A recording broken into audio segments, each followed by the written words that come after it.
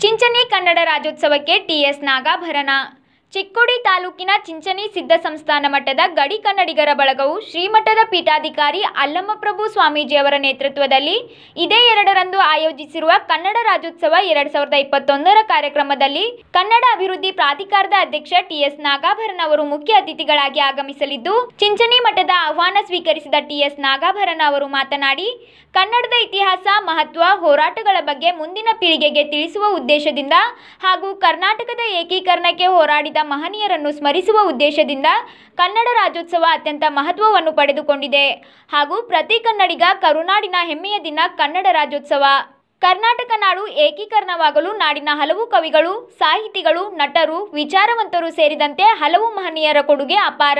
ಅಂತಹ ಮಹನೀಯರನ್ನು ಸ್ಮರಿಸುವಂತಹ ಗಳಿಗೆಯನ್ನು ಚಿಂಚನಿ ಶ್ರೀಮಠದ ಪೀಠಾಧ್ಯಕ್ಷರಾದ ಅಲ್ಲಮಪ್ರಭು ಸ್ವಾಮೀಜಿ ಮಾಡುತ್ತಿದ್ದಾರೆ. ಶ್ರೀಮಠವು ಗಡಿಭಾಗದಲ್ಲಿ ಕನ್ನಡ ಜಾಗೃತಿ ಮಠವೆಂದೇ ಪ್ರಚಲಿತದಲ್ಲಿ ಇರುವುದು ತುಂಬಾ ಸಂತೋಷವನ್ನು ತಂದಿದೆ. ಆ ನಿಟ್ಟಿನಲ್ಲಿ ಶ್ರೀಮಠದ ಕಾರ್ಯಕ್ರಮದಲ್ಲಿ ಸಂತಸದಿಂದ ಪಾಲ್ಗೊಳ್ಳಲಿದ್ದೇನೆ ಎಂದು ಟಿಎಸ್ ನಾಗಾಭರಣ ಹೇಳಿದರು. ಈ ಸಂದರ್ಭದಲ್ಲಿ ಚಿಂಚನಿಯ ಶ್ರೀ ಅಲ್ಲಮಪ್ರಭು ಸ್ವಾಮೀಜಿಗಳು ಚಿಂಚಣಿ ಹಾಗೂ ಚಿಕ್ಕೋಡಿ ಪರಿಸರದ ಕನ್ನಡ ಅಭಿಮಾನಿಗಳು ಹೆಚ್ಚು ಹೆಚ್ಚು ಸಂಖ್ಯೆಯಲ್ಲಿ ಪಾಲ್ಗೊಳ್ಳಬೇಕೆಂದು ಆಮಂತ್ರಿಸಿದ್ದಾರೆ. ಓಂ ಶ್ರೀ ಗುರು ಬಸವಲಿಂಗಾಯ ನಮಃ.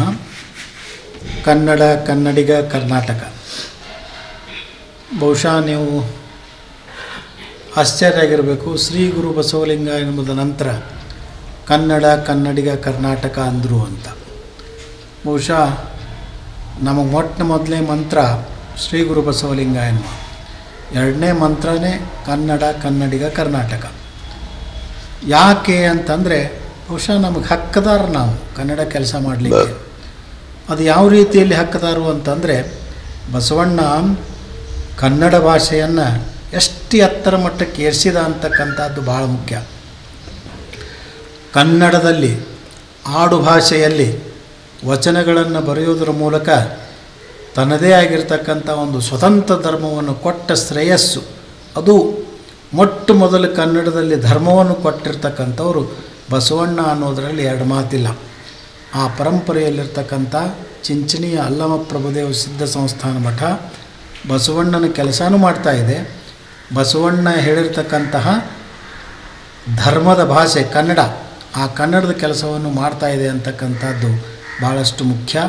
ಹತ್ತೊಂಬತ್ತು ನೂರ ತೊಂಬತ್ತೇಳರಿಂದ ರಾಜ್ಯೋತ್ಸವವನ್ನು ಆಚರಿಸ್ತಾ ಏನೋ ನವಂಬರ್ ಒಂದರ ಕನ್ನಡಿಗರಾಗದೆ ಹನ್ನೆರಡು ತಿಂಗಳನ್ನು ನಾವು ಕನ್ನಡಿಗರಾಗಿರಬೇಕು ಅಂತಕ್ಕಂಥ ಉದ್ದೇಶದಿಂದ ಶ್ರೀಮಠದ ರಾಜ್ಯೋತ್ಸವ ಮತ್ತು ಇನ್ನಿತರ ಕಾರ್ಯಕ್ರಮಗಳನ್ನು ನಡೆಸ್ಕೊಂಡು ಬರ್ತಾ ಇದ್ದೇವೆ.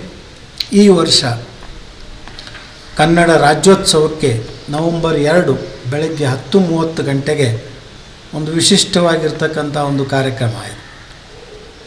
ನಮ್ಮ ಈ ಕಾರ್ಯಕ್ರಮಕ್ಕೆ ಒಂದು ಪುಸ್ತಕ ಬಿಡುಗಡೆ ಇದೆ. ಮುಸ್ಲಿಂ ದೇಹ ಕನ್ನಡ ಮನಸ್ಸು ಅಂತ. ಭಾಳಷ್ಟು ಜನಗಳಿಗೆ ಇದು ಆಶ್ಚರ್ಯ ಆಯಿತು ಏನು ರೀ ಇದ್ರ ಅರ್ಥ ಅಂತ. ಬಹುಶಃ ಒಂದು ನೂರ ಐವತ್ತು ವರ್ಷದ ಹಿಂದೆ ಜಲಾಲ್ ಸಾಬ್ ಅಂತ ತಿಳ್ಕೊಂಡು ಒಬ್ಬರು ಸೂಫಿ ಸಂತರಿದ್ದರು ಆ ಸೂಫಿ ಸಂತರು ಬಸವಣ್ಣನ ಬಗ್ಗೆ ಒಂದು ಪದ್ಯ ಬರೆದಿದ್ದಾರೆ. ಆ ಪುಸ್ತಕದ ಮುಖಪುದ್ರ ಮೇಲೇನೂ ಅದು ಅಚ್ಚಾಗಿದೆ. ಆ ಪದ್ಯ ನೋಡಿದರೆ ಒಬ್ಬ ಲಿಂಗಾಯತ ಒಳ್ಳೆ ಅಧ್ಯಯನ ಮಾಡಿರ್ತಕ್ಕಂಥವ್ರು ಬರೀಲಿಕ್ಕಿಲ್ಲ. ಅಷ್ಟು ಚಲೋ ಪದ್ಯ ಬರೆದಿದ್ದಾರೆ. ಆದ ಕಾರಣ ಅವರು ಏನು ಮಾಡಬೇಕು ಅಂತಂದರೆ ಅವರೂ ಸಹ ಕನ್ನಡಕ್ಕೆ ಕೆಲಸ ಮಾಡಿದ್ದಾರೆ ಅಂತಕ್ಕಂಥದ್ದು ಭಾಳ ಸತ್ಯ. ಆ ಜಲಾಲ್ ಸಾಬ್ನಿಂದ ಹಿಡ್ಕೊಂಡು ಇಂದಿನ ರಂಜಾನ್ ದರ್ಗಾದವರೆಗೆ ಆ ಪುಸ್ತಕದಲ್ಲಿ ಕನ್ನಡಕ್ಕೆ ಏನು ಮಾಡಿದ್ದಾರೆ ಅಂತಕ್ಕಂಥದ್ದು ಆ ಪುಸ್ತಕದಲ್ಲಿ ಮಾಹಿತಿ ಇದೆ. ಇದರ ಬಿಡುಗಡೆ ಮತ್ತು ಮುಖ್ಯ ಅತಿಥಿಗಳಾಗಿ ಆಗಮಿಸ್ತಾ ಇರತಕ್ಕಂಥವರು ಟಿ ಎಸ್ ನಾಗಾಭರಣ. ಬಹಳ ದೊಡ್ಡ ಹೆಸರು ನೀವೆಲ್ಲ ಕೇಳಿದಿರಿ.